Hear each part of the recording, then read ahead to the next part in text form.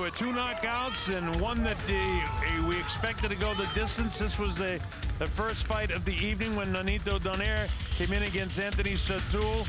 In the first round, he had him down a couple of times, hard body shots. And in the end, uh, just too much for him. And the corner didn't want to see Anthony Settoul take any more punishment. It wasn't going to be his night anyway. And even though he gets up at eight, Dan Rex uh, reaches the count of eight. He comes forward, but you see when he staggers, the corner throws the towel in, and the referee has no choice but to stop the fight. Then in that next fight, uh, Denis Shafikov drops uh, Roy Mukhlis in the uh, second round as he was hanging onto the ropes, and then he just goes to work on him.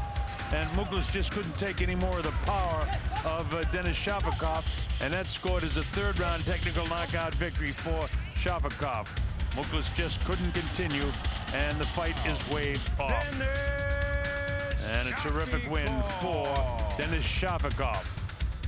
Then in the fight you just saw, the crowd was in anticipation that we might have a Chinese champion, and they were looking forward to, uh, you know, good things happening, and that kind of set the pace for the night when Cuenca was able to put Yang up against the ropes with a punch and uh, actually dropped him. And later on in the fight, that would be returned by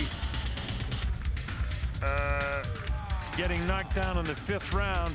And in the final analysis, he went on to win just about every round the rest of the way out and won the fight by unanimous decision and therefore wins the IBF Junior Welterweight Championship of the World. A terrific boxing performance for Cesar Cuenca.